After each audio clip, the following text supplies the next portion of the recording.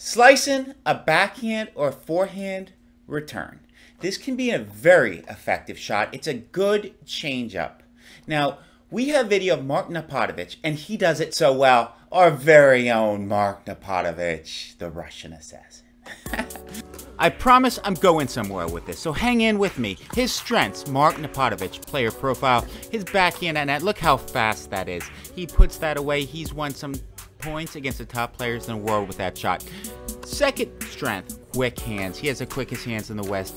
He is just so quick. So he wants to get to the kitchen. That's why I'm going with this. How does he get to the kitchen without being a great athlete? And Mark, I'm sorry, but you know you're not the greatest athlete, but you need to get to the net. So if you fit this player profile, this shot is for you.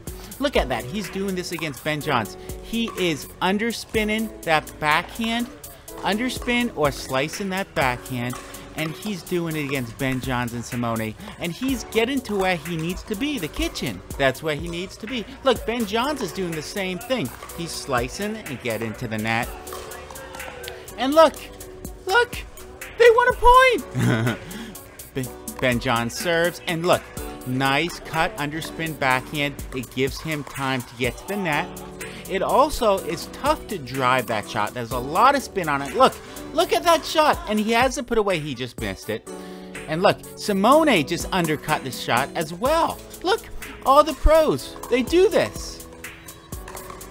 Ben John serves. What a shot. It's an underspin backhand. It gives Mark time to get to the net. And now the point started. This is what Mark needs. He's not the greatest athlete. Mark is going to be on the courts with me and we're going to film a segment and he's going to teach you how to do it. We have so much coming on this channel. Please subscribe.